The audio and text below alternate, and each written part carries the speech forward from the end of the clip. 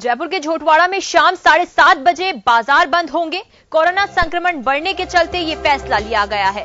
Police प्रशासन के साथ व्यापार मंडल की बैठक में ये सहमति बनी है। सात बजे बाज़ार बंद हो जाएँगे।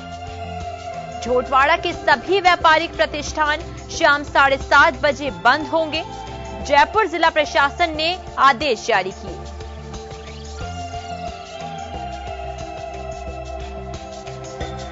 देखिए, जयपुर में जिस तरीके से आंकड़ा बढ़ रहा है, उसी को लेकर जिला प्रशासन ने आदेश जारी किए हैं।